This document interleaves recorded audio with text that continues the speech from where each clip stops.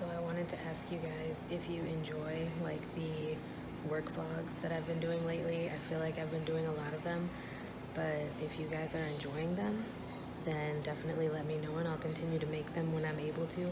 Obviously every night I'm not able to do this. Um, it all depends on which unit I'm on and which assignment I have. Um, but like I said, if you guys enjoy the work vlogs, let me know and I will for sure keep doing them whenever I'm able to. And this is my little setup tonight. This is not actually a Sprite and I only filled it up to about here. It is the um, Mountain Dew, the clear Mountain Dew. And of course I have my notes on which patients I have for the night. The iPad is here for charting and I actually have a new work bag. So if you guys would be interested in like what I carry in this work bag, let me know and I can film like a new what's in my work bag video if you guys were into that. But yeah, this is my little setup. And of course, you can never go wrong with having trash bags. And also, for those of you who ask why I don't sit at the nurse's station, because this is actually a dining room. Um, this is a patient dining room, but the reason why I don't sit at the nurse's station is because um, social anxiety and I don't like making small talk with the nurses. I just find it really weird, especially if it's a nurse that you don't normally get along with, but they want to create small talk and act like you do get along. Um, you know, it's fine just passing in the hallway or, you know, assisting with treatments and stuff. But yeah, there's a reason why I sit and seclude myself in this patient dining room. Can I just say that when I'm not over here on the trach unit, I miss being over here because I feel like whatever other unit they put me on, I get treated like shit. Last night was terrible. They gave me the heaviest haul. No one would help me. I asked for help so many times and I just did the best that I could. It seems like every time that I'm assigned those specific patients, I always end up like having a hard time and nobody wants to help me. So I just had a patient who was crying to me because she said the nurse was mad at her for spilling her water on the floor and this lady is confused. I'm not sure if she has dementia or not, but she is definitely confused and everybody knows that.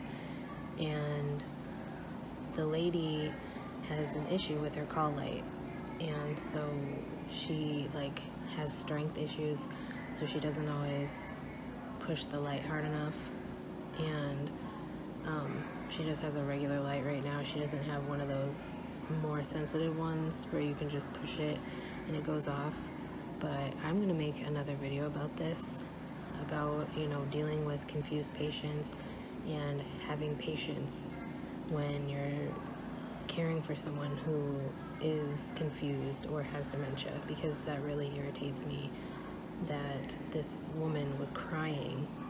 Literally like she seemed like she was afraid to even push the call light anymore because she thinks the nurse is mad at her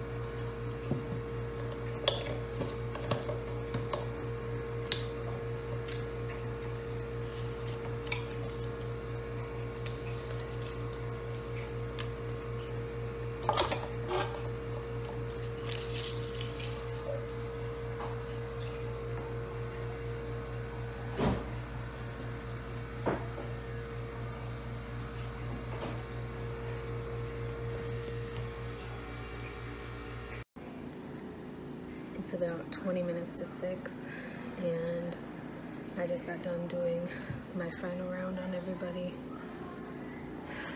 and I am exhausted. And I think I made a decision on phlebotomy versus nursing school. For those of you who follow me on Instagram, you know that I've been dealing with this dilemma for the last week or so. Even though I paid the deposit on the phlebotomy class, I have been like second guessing the decision to do phlebotomy and I think I finally came to a decision about it. So I am going to probably make another video um, kind of explaining my decision and why I chose the way that I did. So stay tuned for that on my channel.